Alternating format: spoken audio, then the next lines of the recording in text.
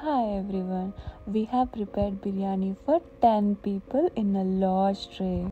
We have marinated the chicken pieces the previous day whole night. The more you marinate, the more tastier and juicier it will become. We have started preparing biryani early in the morning at 10 am. Since it is a huge quantity, we wanted to prepare biryani in an oven this time. It is always recommended to prepare biryani 2 hours before the lunch time because the more you preserve biryani, the more tastier it will be. We have taken the large oven tray and spread the marinated chicken all across the corners at the bottom of the tray. Added a layer of fried onions and pudina as a topping on the chicken layer.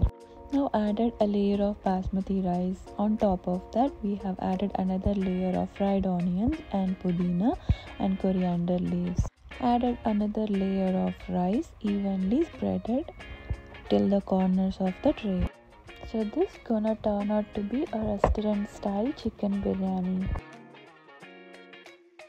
We have added another layer of fried onions and pudina coriander leaves as a topping.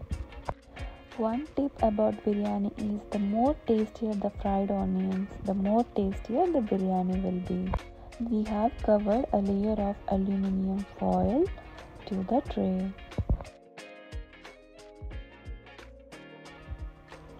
We have covered another layer of aluminium foil to the tray. Now we are going to place it in the oven. So before that we have preheated the oven.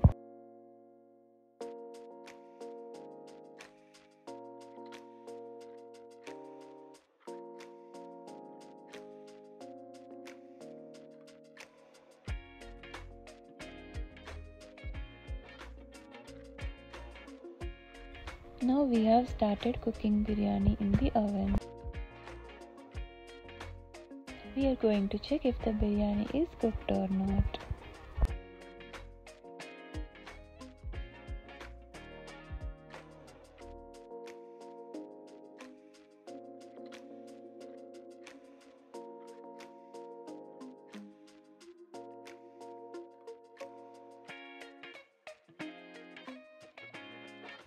The biryani is cooked very well, but it needs to be heated on the other side.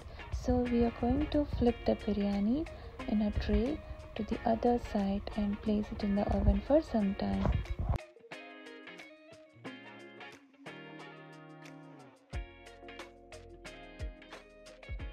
Now the biryani is properly cooked on both sides so it is ready to eat now. So we have to preserve the biryani for 2 hours and eat it for the lunch.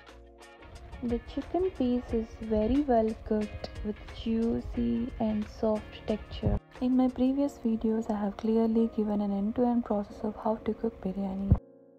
Thanks for watching. Like and subscribe for more updates on my channel